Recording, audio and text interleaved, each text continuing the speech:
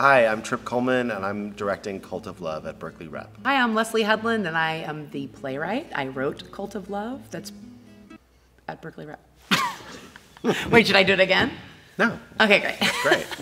if there's anything this play is, it's uh, definitely entertaining. Just like any, like, um, I would say any good, like, 12 step meeting, there is a version of, oh, well, I thought I had it really bad, but like these people are like way, way, way, way, way, way more up than I am.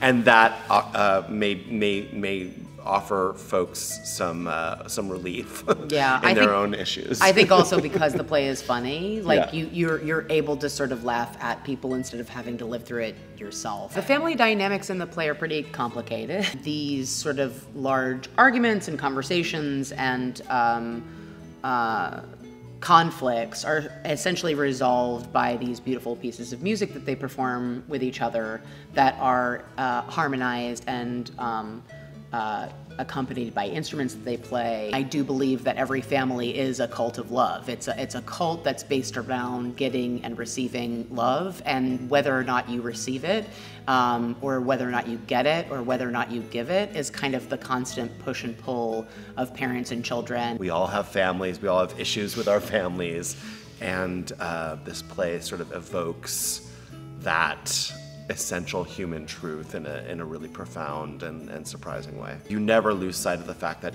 all 10 people who are on stage are very lovable.